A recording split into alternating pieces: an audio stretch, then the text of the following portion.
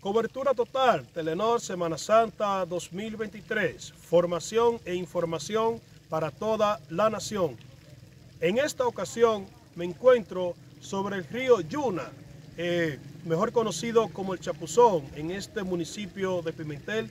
Y como podemos ver en las imágenes, este balneario luce totalmente despejado, sin bañistas, debido a que fue clausurado por esta Semana Mayor por los organismos de socorro. Esto debido a que cada Semana Santa muchos balnearios y playas son censuradas por las autoridades de organismos de socorro por motivo a que son más peligrosos que otros y que en esta época las personas suelen acudir a este tipo de lugares y las autoridades entonces optan por la prevención.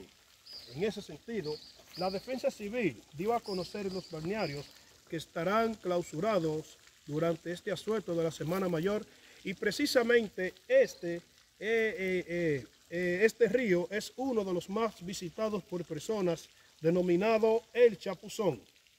Señores, y hay algo que llama poderosamente a la atención y es que aquí luce el sol muy radiante.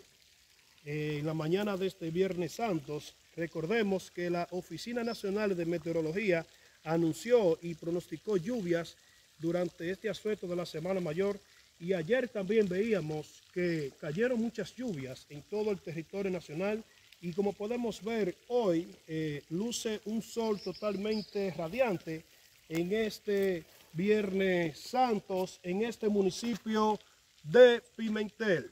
Es toda la información que tengo por el momento. Formación e información para toda la nación. Semana Santa Telenor 2023.